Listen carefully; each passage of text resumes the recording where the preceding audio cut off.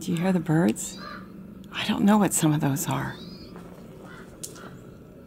It's up in that tree. I can hear the ravens calling and the sound of a jet. Hi, everybody, it's Robbie from Southern California, and this is not a garden tour. What this is, is going to be a nature walk. So we're going to kind of walk through, listen to nature, like the dogs, and talk about what's you know what we have here besides plants or what the plants in the garden has brought in. Here as you can see this is the wall. It brings in a lot of birds, lizards, and snakes. I love snakes, so I'm not worried about that. I have had racers through here, really no gophers I have seen, and we have not seen a rattlesnake in over a year, which is good. That's a good thing. But the birds and the insects and the bees all come through here. As you could see, being so open like this, so keep this in mind if you're making a garden, that when you have it this open, a lot of rodents don't come in because there's no good places to hide. They would have to go back and forth to move around, and it's so open that they would rather find more dense places. Just common nature. That's not saying nothing comes through here, but there's no gophers, of course. Not here because of the totes.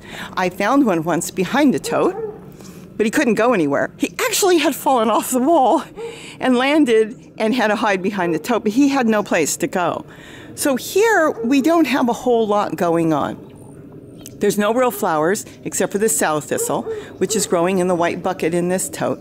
And that does bring in goldfinches and bush tits and towhees come in and different birds looking for either weeds, you know, that are dropping seeds or seeds coming off of the plants or insects. So here we have a small amount of nature, which is okay. Now, my rainbow garden brings in all kinds of birds. I will sit here in the morning and have coffee and just watch all kinds of stuff come in. Hummingbirds zipping around looking for insects and the bush tits and all the different birds that come in, they look for different things. And of course, we have bees, all kinds of bees and flying insects. But it's just so peaceful and nice to know that I can create a garden for myself to have food. And at the same time, help nature in the area. And of course, we get caterpillars and different things. Anything in check, you know, when you have a small amount is okay. If you had too much, it would be different. But it's pretty much under control. Let's walk into the bird garden for a minute. Been moving stuff around because we're changing, not changing, but there's some stuff Gary's working on around the house. So we're moving a lot of different things. And I'm walking into the sun. So let me walk over there and start over so you can see without having the sun in your face. Now I'm on the other side, so you don't have the sun in your face, and I don't have the sun in my face. The garden is bursting to life. Look how green it is. I haven't planted anything except for the zinnias that are popping up in that container I made. Otherwise, this is all plants that you saw all summer that look so sad that have just taken off because we're out of the heat. Ah, I can say that. Well, we were like close to 90 yesterday, and we're going to be pretty close to that again today, even though we're going to go into winter in less than a month. But the plants are loving the cool nights. No matter how warm we get during the day, we are getting down into, let's say, the upper 40s at night. But here is where the birds come in. They've been eating the greens. This is nibbled by birds. Little birds will sit here and nibble on the greens because greens is very important to a lot of their diet as well. This, by the way, is in the ground, not in a container. Here's where I feed the birds. This is going to change up a little bit. I want to be able to sit and photograph the birds really good just it's just gorgeous that they come in. I love sitting here and watching them go to all the solar fountains. The solar fountains haven't started yet because a lot of them are still in the shade. But it's just nice to sit here and I put out all kinds of bowls. I found an old ashtray that I put out an ashtray there and some bowls and this is a chip and dip. I wanted to make a water fountain out of it, a solar fountain, but this is melamine and it's so hard to drill that I thought I'd stick it out here and it works out good because of the sections. They can sit in each section the birds and feed on that and they happen to really like it. And that's just an old bird feeder a real bird feeder I've got. And of course the hummingbird feeders and things they come in by the dozens and dozens and sometimes the hundreds. So we get a lot of birds here. What brings in the birds? It's a few things you've got to remember. What brings in the birds is shelter. They have to have a place to land and be able to feel secure enough that they can hide inside of a tree or a bush or wherever you stick a branch, someplace that they feel that, well, maybe they could see you, but you can't see them. That's kind of what they want. Then the other thing is water. They need water. Water is very important to them. So I've got two electric fountains, and the rest are all solar. And we have like a dozen solar fountains in the yard. And then the next thing, of course, is food. And that's basically it. Once you've got those three, you're going to be loaded with more birds than you even know what to do with. This to them is important. So I try to make sure I have all three. I'm planning on putting along the back more plants. That's just a simple wire fence. See how beautiful the purple tree collard it is? I'm going to put more purple tree collard. That's mint growing up. It's not really doing much for the birds and it's just growing in the ground. So I might trim some of that down and get more purple tree collard because it grows like a tree. But look at my lemon verbena. Now this is going to die back as we go further into winter. All the leaves will fall, but it will give them a place to land quickly and decide where they want to go.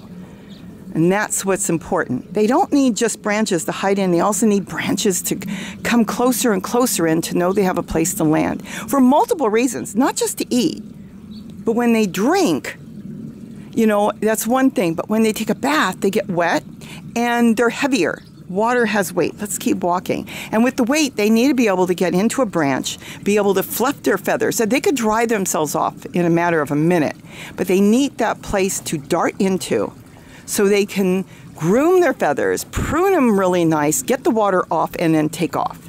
That's what they need. So once you give them all that, you're going to have a lot of birds. So they have food and they have places to take a bath. Look at this. Oh, he just left.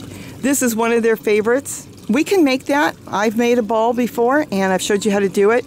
I've got videos on that. They love the balls, the hummingbirds. So do the other little birds because they can sit there and get the right amount of water on them. So that's what's going on here. Let's keep walking. Like I said, we've got things moved and under construction.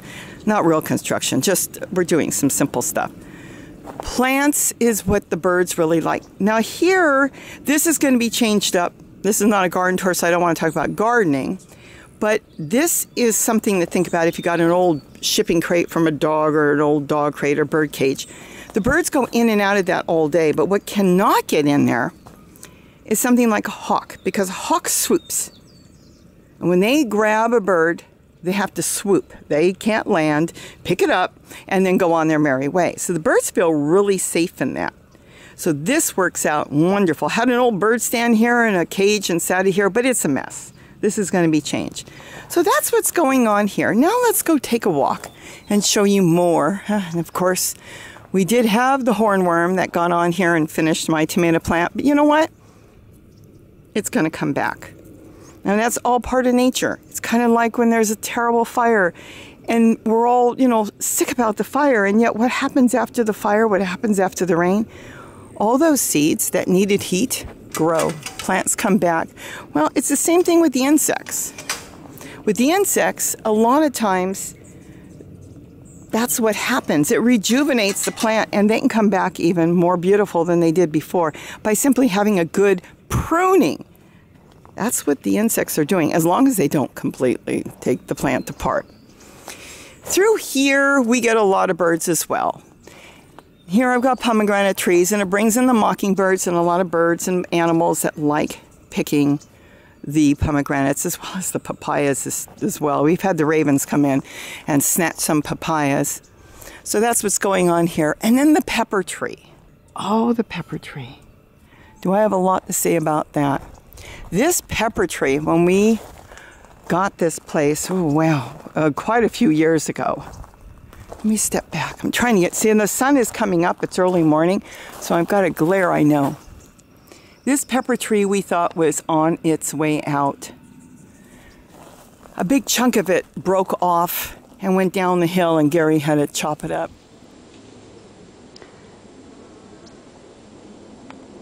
October 24th. 2010. Yep, the tree came down.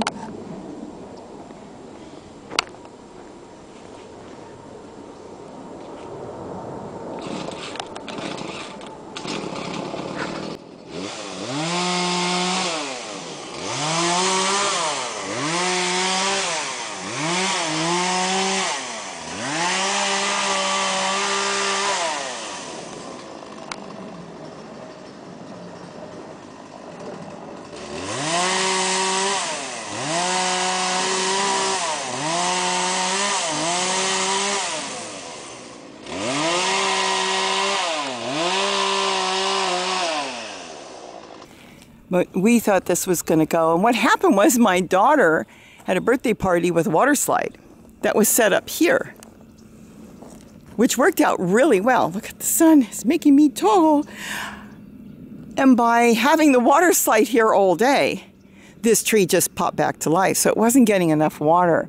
And it worked out fantastic. It just saved the tree. And then what happened two years ago is the Cooper hawks came in, which we have a lot of hawks around here.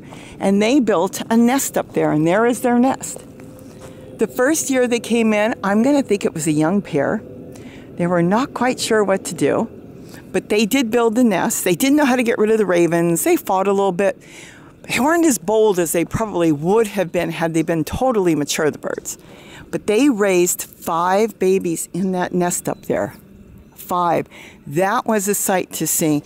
I would be working in my chair garden and they would come down and fly around. They'd land on the wall. They would land on the truck bed. See how the birds are starting to come in? Those are yellow rump warblers. They would land there and sit there and watch me. I'll sit for a minute and then we'll continue on. Kind of made me a little nervous. I mean, I know they're not going to come land on me or anything, but boy, they were so used to seeing me set this up that they would just come and land on the truck bed and they would sit and watch me or they'd land on the wall and they got really close.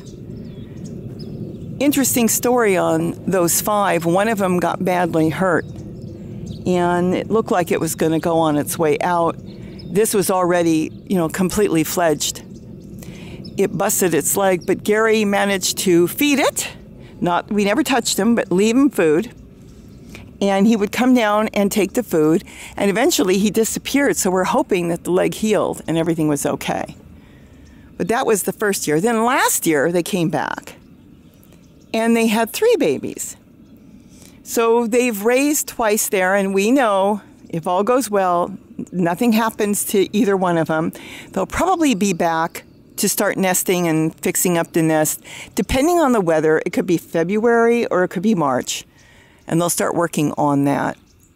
Now, just so you know, they have been spotted here, especially when there's a big group of ravens around here. One of them sits up in the poles, around the pole here, sits up on the wires, and watches the nest. If any of the ravens get too close to the nest, they will chase them off because they are still protecting their nest, even though we're going into winter and they're not ready to nest. They do know that it is theirs, so they're going to build on it and that's what's going on there. Going back to birds for a moment, just so you know, we've got over 50 species of small birds. I haven't even counted the various hawks we have, or turkey vultures. Speaking of a hawk, we now have a red tail up there. Now he's sitting here. I don't see the Cooper hawk, but it was a Cooper hawk that bred here. But let's let's take a look at the red tail real quick. You see him on the power pole? He's waiting to see if a rabbit or something shows up down here. We have a lot of rabbits, but we seem to have less than we had during the summer. Probably picked off by different things, unfortunately, like hawks and coyotes that we do have here. So things do happen. But he's sitting up there and he's kind of looking around and scoping out the place. Let's keep going. Now, I don't know if you can see it, but the trees here are full of birds. I can see them moving around all the way to the top. And they, it's just the perfect place for them, you know, to hang out. That's what they're doing. They're hanging out because they can come down and go through my deserted chair garden for now. It's not totally deserted because there's still plenty of food in there. I still come and take out. But they come through here and they look for insects or they'll eat the sow thistle. This is sow thistle.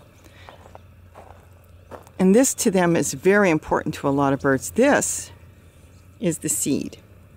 And that's what the goldfinches and a lot of small birds eat. Now, when there's weed abatement and everybody is, you know, taking out their weeds, they don't have enough food. So that's when they start foraging and looking for anything they can possibly find because that is their food. So I leave a lot of it, especially if it's not going to harm anything right now. The tomatoes are on their way out. I've got some popolo and celery there. So I leave the celery because it's got very small seeds. Some birds eat celery, but they're not that crazy about it. But I do see bush tits go through celery. And I think what they're actually looking for there are the little tiny insects that might be around inside the plant. So they'll come through very small birds of bush tits. The females, which is so interesting, they nest here, have white eyes and the males have black eyes. And that's how you can tell on the bush tits.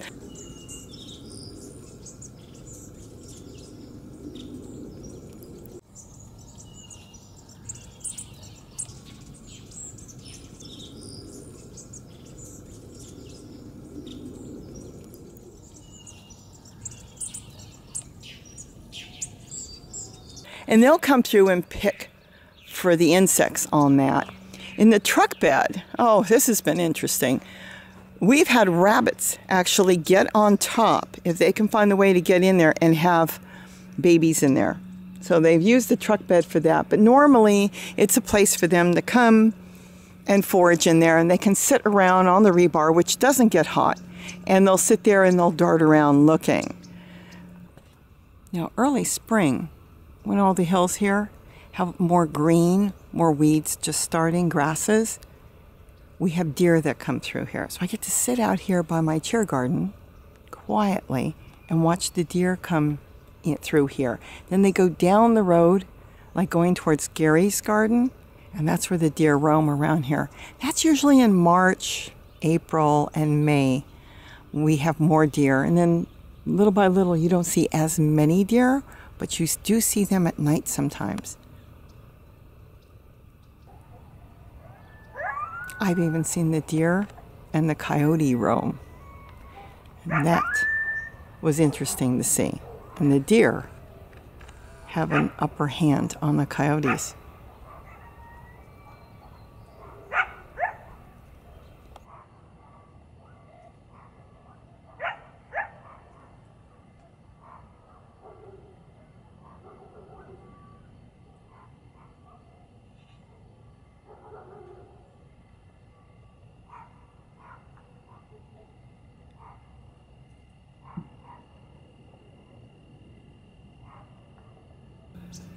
And that's what goes on here. Now, going over here, we have water. And as you could probably see, some of the birds are thinking about coming down to the water. There's a mockingbird up there, and he's waiting for me to leave. But here we have three ponds that we're working on. You're still working on it, it takes time. One is a bathtub, and then two are ponds with liners. Gary's designed the bricks around them, I should say cement blocks, that are rocks. They're rock shaped. I was going to wait to see if he was going to come down, but he's just going to watch me. He might be eating the berries off some of the trees. And what the mockingbirds do, you can probably see some berries up there, is they will protect the tree. The tree becomes theirs, and they don't let other birds near it. So he may be doing that and watching to make sure I don't come to take any of his food. But going back to the ponds, Gary has made these bricks, or I should say cement blocks, like he did my planter out front. And once we've got time, we'll get this all done. He's got the bricks around it, the cement blocks around it, and then he's designed all those that do look like rocks. Those are not real ducks. They're from the dollar store they had once. Oh, got birds flying all around me. I've had the Cooper Hawks come in and take a bath. So birds are coming into the bathtub to take a bath. And then here, the same thing. We've had various birds. I came out here one day and a dozen doves flew out of the water. So again, water is very important. And as time goes on, we plan on getting a whole lot more plants all along here. And then this is where my garden will stop. And then I will continue the garden on that way. But here I want this set up so the animals can come down. Oh, speaking animals, I always find the duck laying around. You know why? Because the coyotes come at night and they pick up a duck and then they move my duck into the yard and well, that's what they do. Speaking of coyotes, as you can see, they were here last night. So, yes, they leave their droppings behind. That's how we know. Let's walk down here. Now, here we've got aloe vera growing. I've got aloe vera there, and I've got aloe vera here. And they produce such a beautiful flower. See the spikes? I save those, those flower spikes and these make great branches and they pop right out. Let me show you. So if you've got them, don't throw them away. Okay, this there it is. Look at this. Is that gorgeous? You can sit this around and you can sit it any way you want and the birds will use this. I'll come back and get that later. I use that also for tomatoes, to use it as a tomato stake. And this way the orioles can come in and land on it and feed on all the tomato hornworms because they don't like landing on the tomato plant. Keep that in mind. So if you can get some twigs and sticks and stuff in your tomatoes, if you're growing tomatoes in the spring and the summer, then you'll get more of the birds to go in there to collect the insects because it, it, it's called trichomes and they're sticky and they get all over and you can't wash them off. If you've ever got them on your hands, you know you can't get it off. Well, the birds can't get it off. So they don't like landing on it. So the first time some of them land on it, they remember. See, here's more aloe vera. This brings in hummingbirds. The hummingbirds and the orioles absolutely love the flowers. But right now, this time of the year, they're not flowering. They may pop a flower and surprise us here and there. Look at this. Tree roots. Look at that. Not sure from what tree, but it could be from the ficus tree because they have a lot of roots. So the flowers are, for the aloe vera, is very important for the birds. I just love how quiet it is in the morning. Absolutely beautiful. I'm so glad we have all these trees here. Look at that. Oh, here I've had multiple hummingbird nests. This one had a hummingbird nest in it. We've had hummingbird nests all through these different trees, including the pepper tree. There's been hummingbird nests. So they nest everywhere. And keep in mind, you rarely see a hummingbird nest because it's the size of a little bit bigger than a quarter. They're so small. And you think, how in the world do they raise the babies? The nest stretches. They make it with spider webs and then they weave it and then it stretches. So that's why they can make it so tiny and it will stretch whether they have one baby or two. The babies will stretch it. Now here is our firewood that got piled here. Oh, years ago when Gary got the wood chips for his garden, this is all wood chips down there. They asked once they called and said they had a truckload of cut up wood if we wanted it. And Gary said yes, so they dropped it off. And we have used it over the years for firewood, little by little. There's a whole lot here. But this is where he found those bees. Now we knew we had carpenter bees because the ones in California are solid black. But what we thought, and we did think in the beginning, or I should say, I'm going to have to say Gary thought more it was bumblebees. I wasn't sure because of there they are. Let me talk about that for a minute because this is interesting if you didn't watch on the bumblebees. Now, Gary thought they were bumblebees. I was not 100%. He's in there right now working that. And that's why I continued. We thought it was one species of bumblebee, and I continued to go ahead. You can see all the birds flying around and do research until I finally found them and they were not bumblebees. We have carpenter bees in the large log down there, and they're the black ones, the ones everybody sees in California.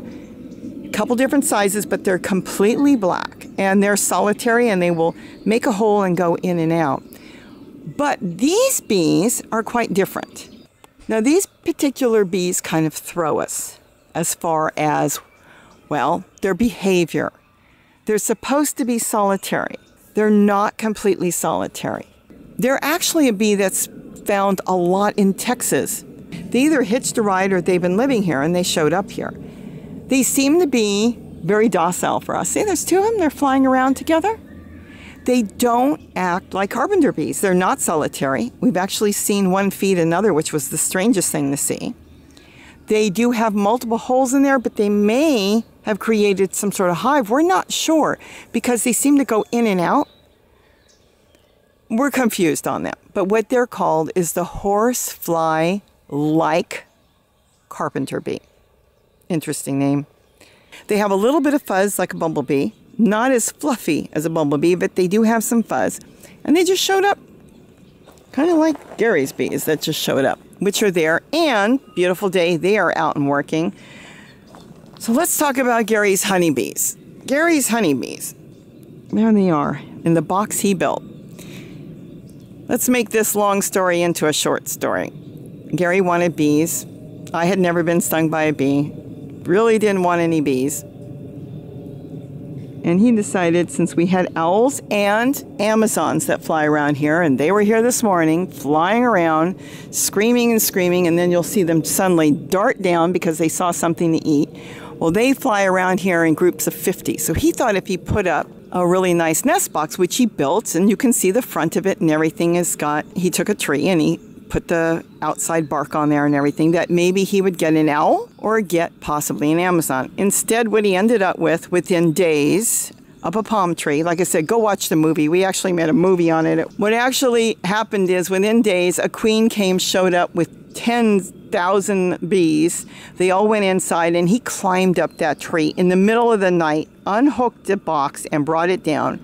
And with eventually within 24 hours set it up here. See, he keeps a hummingbird feeder up there in case they start to bother mine. It's even got an ant moat so the ants can't get to it. He can put sugar water in there and he only does it when they can't find enough food. And I know that they'll show up on my feeders and we generally can tell in the direction they're flying if it's his bees and he just puts up the hummingbird food and then they stop bothering the feeders. So that's them, and that's what's going on there. And he's got his bees. No, he does not collect the honey, but he does have a hive now he might set up in the spring. And we'll see what happens. But yes, I ended up being stung, and he was really happy because all it was to me was I got stuck, swelled like nothing and it was just no big deal. So now he feels he can have bees. So maybe he will end up doing honey, but right now he just really enjoys having nature and bees, including the carpenter bees or whatever bees are around here in the garden. So let's keep walking and seeing what else we can talk about. So this is kind of like the backside of my garden. This is Gary's garden is down there. We normally have this place covered in rabbits, especially in the spring. They'll be jumping all over, but they'll be going in and out where all the plants are. And this is the backside. That's an old avocado tree that's been there. I think it's coming up from the rootstock. This area years ago was an avocado grove. And so they had avocado trees and citrus trees. So some of the citrus trees might have been planted years later, but some of them could have been here for 50 plus years. You can see all the birds flying around. So some of the trees are old, like those avocado trees are definitely old. So there's two there actually, and there's another one here. And over the years, a lot of them, see? This is another one that has died out. They've just died out. There's been issues with avocados. There's another tree there that died out over the years. I don't ever remember seeing that tree. You know, they're old. Some of them are close to 100 years old. It was at the turn of the century in the early 1900s that they had a big avocado grove all through here. And then years and years later, they separated the properties and started to build homes. And some people took out their trees. And well, I didn't. I left them. I had 32 trees when I moved in here back in the 80s. And over the years, most of them have finally died back. We've trimmed and kept some of them alive, but a lot of them are really on their way out. Here I water it. Um, there's never been any avocados on that one. Have gotten a few off of that, but it's probably coming from the rootstock because they don't taste right. They're stringy, and when you're when they're stringy like that, though you can you can mash out part of the wonderful pulp, it just doesn't taste right. And you know, you know because of the string that it is coming from rootstock. But that's what's back here. So we've got, I think that's plumbago I could be wrong on that. We've got some four o'clock flowers there, got some succulents. Some of this stuff we planted. There's some jade plant up there, but of course Gary planted a lot of the elephant food plant up there. My pomegranates are up there. That's where you see my pomegranates. And just so you kind of got an aspect of where my garden is. Right through here, see that? That's where my rainbow garden is. Right on the other side by the house there. So I've got a fruit cocktail. That's a grapefruit plant. And then I've got some orange trees in there. I think there's a mandarin, some type of orange tree in there. I'm not sure what this one is. It might be a lemon. So there's various plants in here, trees and different plants. Ah, scrub jay. See how the birds are coming in. There's my moringa that you see in my garden, dying back for the winter. And then, of course, there is my pine trees that are in the front yard. Now, there used to be four. One of them had to come out years ago because it was too close to power lines. So they came to us and they asked if they could take out one, possibly two. So we went ahead and took out the pine tree that was leaning a little, but the other one was kind of skimpy and I didn't know if it would make it back, but it did and it's getting a lot of top growth. So we've got the pine trees, which are really nice because the birds absolutely love them. And of course, the one palm tree up there, which brings in a lot of kingbirds. The kingbirds go up there. I have had ravens up there, which is so funny. They've come in when we have parties, and I've seen them up there eating cake. They would find some, maybe some cake that some kids left around the yard, and they would go up there and they tuck the cake up on the top of the, the palm tree and they would come back and eat their cake and then tuck it back inside the leaves. So they knew where it was, but the other ravens didn't. That was the funniest thing. So that is the backside of my garden. And Gary's got plans, lots and lots of plans. The reason he likes this part of the yard, and it is a wide property, is you can drive this, which makes life easier. You know, instead of having to haul everything down by carrying it, the driveway goes all the way through where you see that I, am growing stuff, and then it comes down here. And then, of course, this is where they've dropped wood chips before. They actually couldn't make it down there. And then they've come through here. And yes, Gary did plant a lot of these pepper trees. He's kind of sorry he did, but he did. He's taken some of them out because they have very invasive roots to his garden. And they could they used to come down here and drop wood chips down here when Gary wanted wood chips because he was determined to grow only in the ground. I had a different way of growing. We both have different ways of growing, but he has changed it over the years and decided that he's going to grow. As you can see, oh, look at the birds in his totes. See the birds in his totes? Let's take a peek real quick. So the birds are going in and out. Hopefully they're not eating any of the seedlings, but they will go in and out and eat, you know, something's coming up and then they'll look for insects. Looked like those were towhees in there. But he originally was only going to plant in the ground. Over the years, things evolved because there was a root issue. So he's going to change some of these trees to other different types of fruit trees. Then he had a rabbit issue, so he had to fence everything in. Then he had to cut the roots out by digging it down because the feeder roots that are getting into his plants are actually more surface like. So he can cut it, you know, just by when I say cut it with a shovel, he can go through and with a shovel cut the roots. And what he's trying to do is bring in nature, but he just doesn't want rabbits and he doesn't want gophers planting in the ground, you don't want gophers because they will finish up your plants. And that's one thing you don't want. That's why I like totes. There are a lot of gophers here. I've had neighbors tell me they cannot grow anything because of the gophers. They can't grow anything because of the squirrels. They can't grow for various reasons. Well, let me tell you, there's ways of getting rid of gophers. That is one way to get rid of gophers. To get rid of squirrels, you can wrap it with tulle. It works, and that includes rats and mice. It works. You can completely cover everything if you're doing greens and you don't need something to be pollinated. And keep in mind, a lot of your tomato and pepper plants you can self pollinate by a gentle shake. So it's whatever you're growing, that will be what you need to do. But it does work. He obviously is growing a lot, and so am I. We've worked it out. There are ways to grow. There's my garden. Now you can see up on top, that's the start of the bird garden. There is my beautiful pine trees, and there is the palm tree, which one day in the wind, all the leaves were there, and there, Gary thought, oh, I'm going to have to have somebody come take all the leaves off. We had some bad wind, knocked it all off, and now it's self grooming. It's been doing a wonderful job. And see, there's another avocado tree that's gone. You can see some of the avocado trees. Some of them are still hanging in there, but again, they're older. I mean, here's one right here. This is coming up from rootstock. Gary was going to take it down. You can always graft, yes, you can, but they're struggling trees. But actually, this one is starting to make a comeback, so he's going to leave it. So, going back to nature, because this is not a garden tour, he's trying to bring in birds too and grow different things here. Now, here, I have no photographs. We were standing out here and we have seen twice a bobcat. So we know there, there are some bobcats.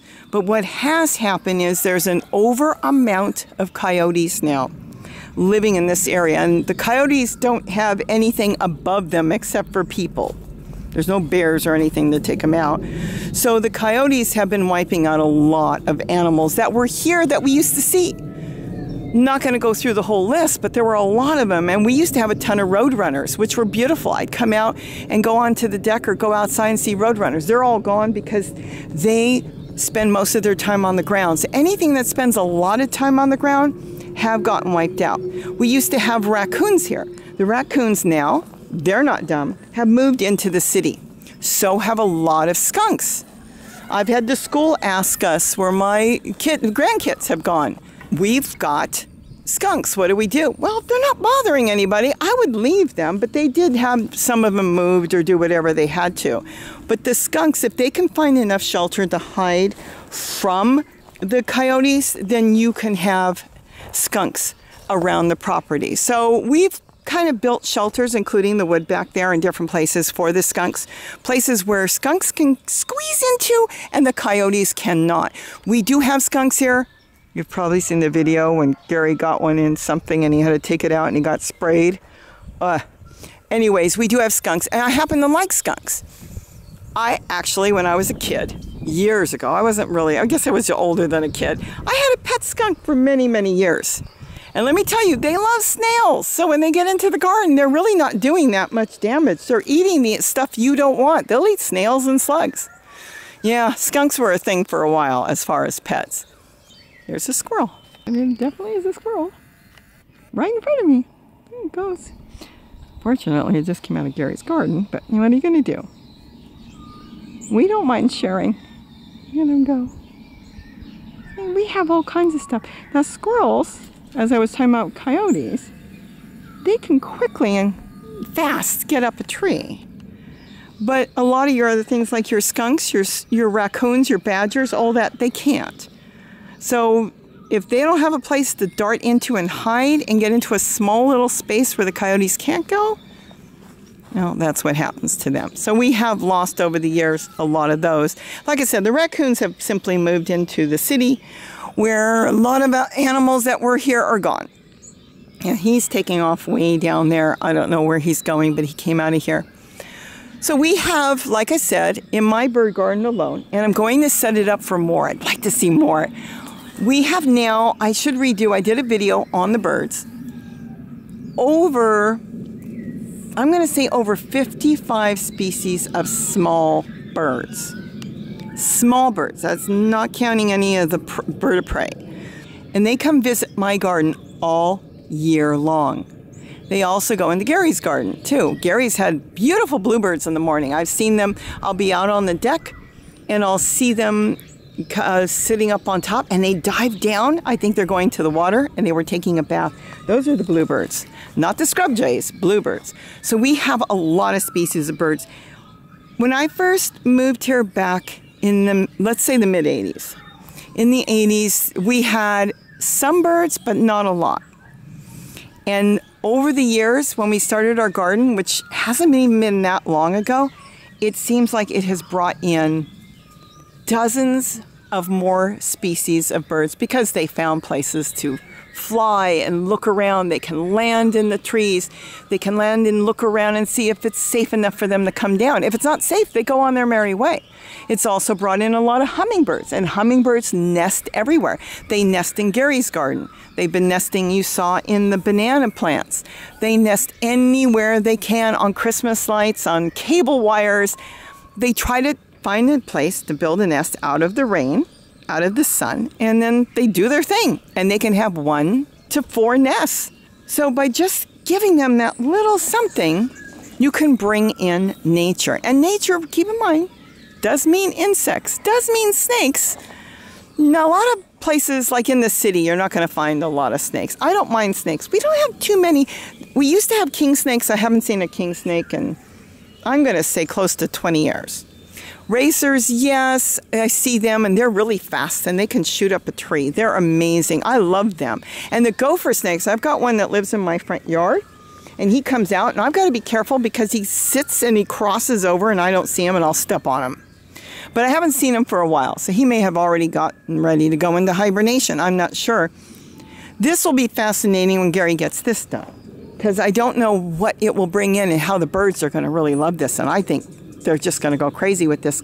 Because as this gets covered, this gives them a place and shelter away from hawks, the small birds, and they'll be able to come through here and forage for all kinds of insects.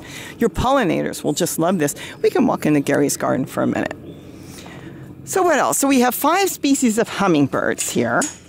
And when I count birds, I don't count the species, I count the type. So, when I say 50, that's 50. So, in here, let's see, I can't even name all the birds. I've seen mockingbirds in here, kingbirds in here, different types of towhees in here. I have seen bluebirds in here. We have had tanagers now that came in. There has been oh, the orioles. We have a couple different types of orioles that come in. And here's what the hummingbirds like, his cannas. They love the, the red flowers. See that there's certain flowers that are designed by nature for certain birds and certain insects. Some insects won't be able to get in there, but a hummingbird with a long beak can get inside. So different flowers, that's why different flowers are important. Like these, this is a potato mint. This is perfect for bumblebees, honeybees, different types of bees. Hummingbirds may pick around, but they may not get as much. Remember, hummingbirds are picking either pollen or nectar. Not all flowers have both. So different flowers are designed by nature for different animals which drops the competition down for them. Same thing on birds when you're feeding, like we have white crowned sparrows come in and they'll fight with the house finches. Why are they fighting with the house finches? When they come into the bowls and they try to push each other away? Because they're both feeding on the same food. When you've got other birds coming in there, like bush tits coming in and they're feeding all over and nobody's fighting because bush tits are coming in for insects. The white crowned sparrows well, they're coming in strictly for the seed. So when animals are not eating the same food, then there's usually no problem as far as compatibility. They're fine with each other because there's no competition. Let's see. So what else can I say in here? So Gary's had hummingbirds nest in here. The orioles have nested in his banana plants back there. We've had them. Mockingbirds in the front yard. They do a lot in bushes. Scrub jays will do wherever they can. They can go higher up. Hummingbirds, it's amazing, can go eye level. You will be walking back and forth and not even notice that there's a hummingbird in front of you. And then, of course, here, the big thing with Gary and all his ponds are his dragonflies. He loves his dragonflies. He's had dragonflies all over the place in the summer. They've kind of died back now because the weather is so cool at night and we're going into winter soon. So the dragonflies are done until probably mid spring. That's when you'll see a lot of birds coming around. The dragonflies will come out as soon as the weather warms up. So he has his dragonflies, which are really, really big. And this place will be just covered in dragonflies. They'll be zipping around, they'll be fighting with each other and creating their own territory because there's a pond over there and then there's another pond there and another pond there. And so what they do, thank goodness, is he's got enough ponds, is they decide which pond is theirs. And so you have multiple males trying to protect their pond. So it's not like he has one little fish pond. He's got multiple, so he can have multiple dragonflies living in the same area because they're protecting their territory. So he has that. And then finally this year, I don't know if he ended up with tadpoles or not, he had a lonely frog that was croaking in the middle of the night, which he has not had. So it, finally this year he got it.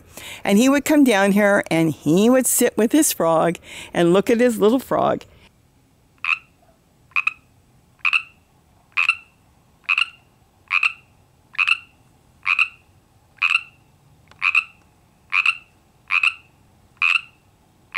and hope that a female came and that he ends up with frogs. We have found frogs in my garden, but I think they were just traveling and moving around. But with him, he did have one that staked a claim in one of his ponds and decided that this was his place, and he croaked his little heart out all night. Very loud, it's amazing. But he did get his frog. So let's hope it has some tadpoles there, and let's hope he has more frogs because he loves his frogs that's pretty much it. We have, like I said, all kinds of insects and all kinds of birds and reptiles that live here, and of course the furry animals. And that's okay. I mean, look at all the food he's growing. Look at all the greens that he's growing.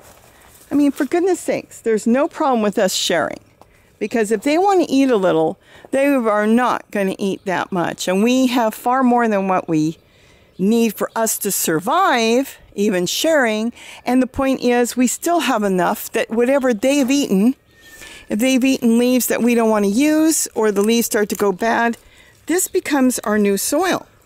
So that's important too. Don't worry about if you overgrow, because by overgrowing, you're creating your own organic, rich soil to grow in.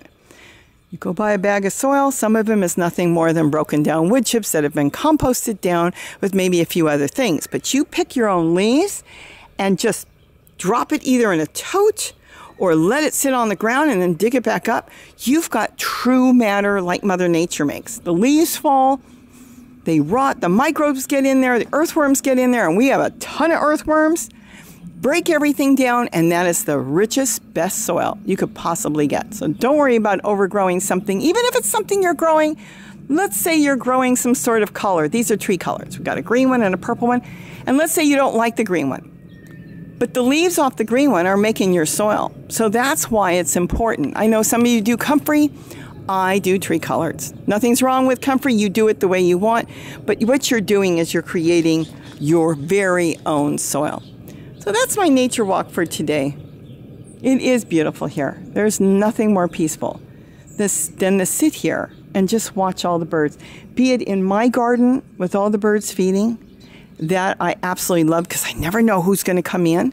Like I said, I have photographed in my own garden on the property here over 50 species of small birds, including in Gary's garden.